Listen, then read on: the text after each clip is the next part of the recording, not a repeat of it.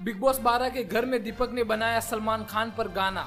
Hello friends, आप देख रहे हैं F star news Big Boss 12 के अब तक के सबसे एंटरटेनिंग कंटेस्टेंट दीपक आजकल हर कोई का फेवरेट है। बता दूँ कि दीपक एक अच्छे सिंगर भी है, जो मुक्काबाज और गैंग ऑफ़ वासीपुर जैसी फ़िल्मों में गा चुके हैं। वैसे तो हर साल बिग बॉस पर कई सारे गाने बनते हैं, लेकिन दीपक ने इस बार बिग बॉस पर एक अलग ही गाना बनाया था, जिनको सलमान खान ने काफ़ी पसंद किया था। और सलमान ने कहा कि मेरे को ये गाना बिग बॉस का अब तक का सबसे अच्छा गाना लगा। लेकिन बता दूँ कि दीपक ने बिग बॉस के अलावा सलमान खान पर भी एक बहुत ही अच्छा गाना बनाया है, जहाँ उनके लिरिक्स कुछ ऐसे थे। आन बान और शान है, बॉलीवुड के वो सुल्तान है, कितनों के है फरिश्ते तो कितनों के वो भगवान है। भाई का अपना स्वैग है, बॉलीवुड किंग उनका टैग है।